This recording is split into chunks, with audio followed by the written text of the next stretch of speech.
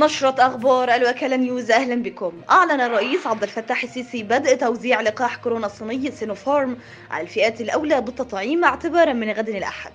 وأضاف الرئيس خلال لقائه برؤساء تحرير الصحف المصرية خلال افتتاح مشروع الفيروس للاستزراع السمكي ببورسعيد أن مصر ستتسلم نهاية الأسبوع الجاري نوعا جديدا من اللقاحات التي تم اعتمادها لمكافحة فيروس كورونا. وستصل أولى شحناته قبل نهاية الأسبوع الجاري. عقد المجلس الأعلى للجامعات اجتماعه برئاسة الدكتور خالد عبد الغفار وزير التعليم العالي والبحث العلمي وأكد وزير التعليم العالي على رؤساء الجامعات بضرورة إعلان جداول امتحانات الفصل الدراسي الأول خلال الأسبوع الأول من شهر فبراير القادم والتي تقرر أن تبدأ عقب انتهاء إجازة نصف العام مباشرة. وعلى الصعيد الدولي اعتذر الرئيس الأمريكي الجديد جو بايدن عن صور ظهر فيها جنود الحرس الوطني نائمين في موقف للسيارات بمجمع الكونغرس.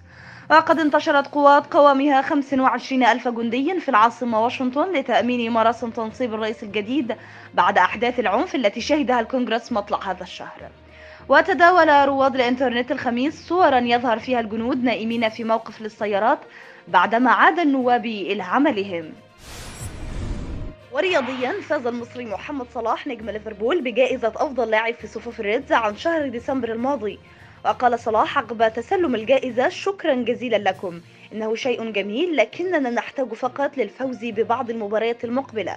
وأضاف الوضع ليس رائعا في الوقت الحالي لكننا نحتاج فقط إلى التركيز على كل مباراة وأن نظل متحدين والحفاظ على الاستمرارية.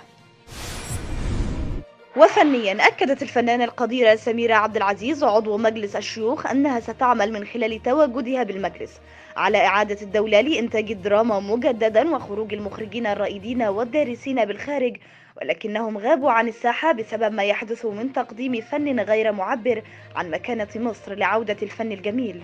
وأضافت أن الفن رسالة وواجب ولا بد أن يكون معبرا عن الواقع المصري.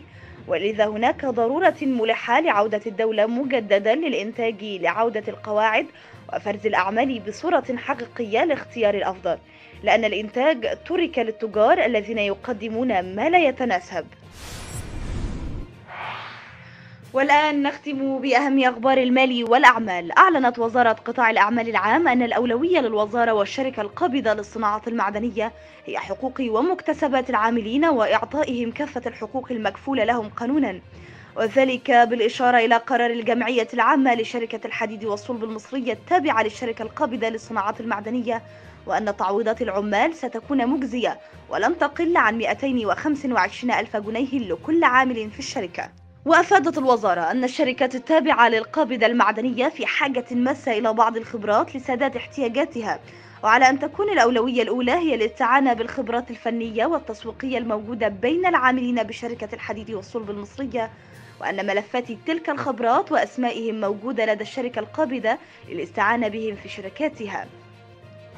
إلى هنا وتنتهي نشرتنا الإخبارية. تقبل تحياتي إلى أن نلقاكم في نشرة إخبارية أخرى وإلى اللقاء يمكنكم الاشتراك في القناة وتفعيل زر الجرس ليصلكم كل جديد. طابت أوقاتكم.